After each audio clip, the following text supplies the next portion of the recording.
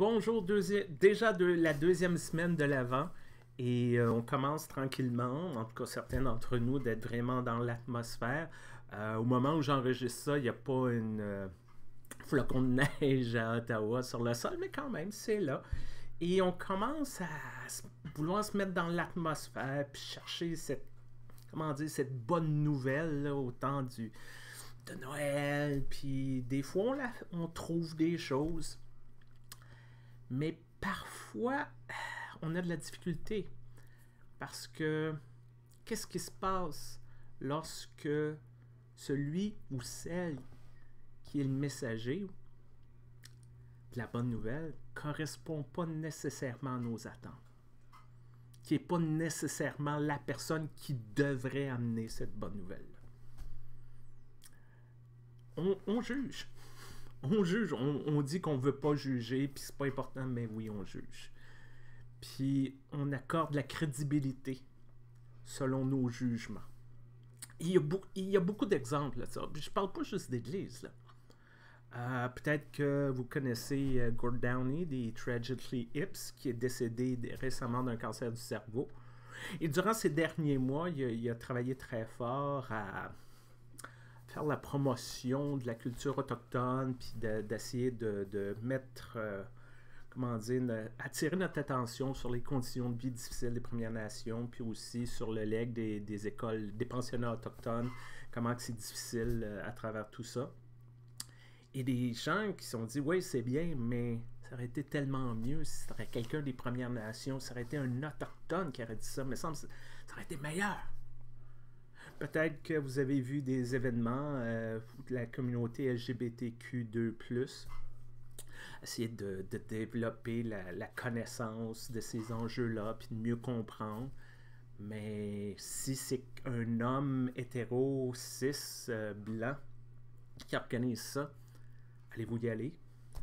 Euh, tout, le mouvement de dénonciation des femmes euh, au sujet d'agressions et de euh, sexuelles qui, qui sont vécues, des fois, ce qu'on entend, c'est pour ceux qui défendent les, ceux qui sont accusés, dire Ah, ça, cette femme-là a été divorcée trois fois, de l'alcool.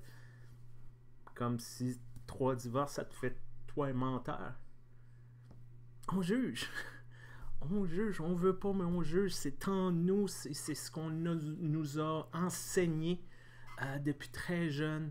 Euh, pour un homme, si avoir de la crédibilité, ben, rase-toi, mets-toi une cravate pour une femme, mets-toi une belle robe, des talons hauts. Euh, ça fait partie des choses qu'on se fait dire, même si on sait en dedans de nous que c'est pas ça qui est vraiment le point. Puis en cette deuxième semaine de, de l'Avent, le texte de la semaine, ben c'est, Jean le Baptiste qui on va le dire, un peu weirdo. Il est vraiment bizarre.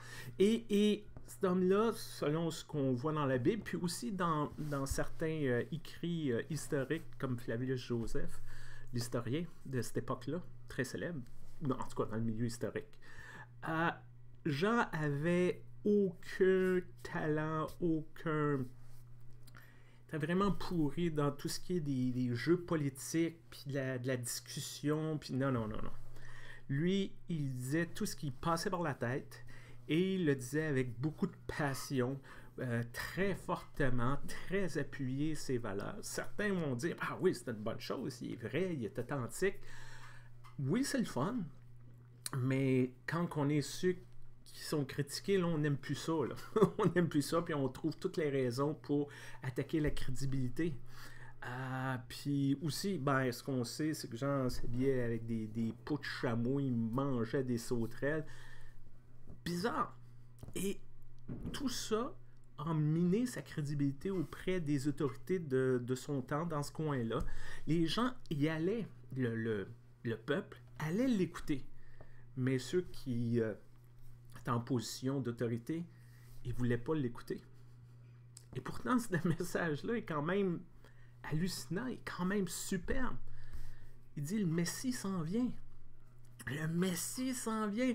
Un nouveau monde est sur le point d'apparaître. Une nouvelle façon d'être, de, de, de, de, de, de, de, relations en, les uns envers les autres, ça va émerger, il va y avoir une transformation profonde de notre société. Et c'est peut-être pour ça qu'à toutes les années, on revient à Jean le Baptiste, on revient à son message, parce qu'on a besoin de se souvenir de ça. Comme j'ai dit, on juge. Et on donne la crédibilité selon nos, jugements. On sait, bah, on le sait. Mais on a besoin de se le faire rappeler. Est-ce qu'on est capable d'entendre un bon message, un message positif, même si ça vient de la personne qui n'est pas supposée ou qu'on s'attend pas ou qu'on a de la misère à croire? Ou est-ce qu'on va jeter ça du revers de la main? On va dire non, non, retourne dans ton coin, euh, va faire des études universitaires, faites quoi, mais d'ici là, euh, ça m'intéresse pas. Et c'est ça que je vous souhaite cette semaine, cette capacité de aller un peu outre ces apparences-là. Ces espèces de constructions euh, arbitraires. Qu'est-ce qui est en mode cette année, qu'est-ce qui n'est pas en mode cette année. Euh, dire, essayer de trouver ces messages-là qui nous donnent de l'énergie, qui nous donnent de la vie, qui nous donnent du sens à notre vie. Puis de au-delà des apparences, des de nos jugements, de nos idées préconçues. Merci encore une fois d'écouter et je vous souhaite une très bonne semaine. À très bientôt. Bye bye.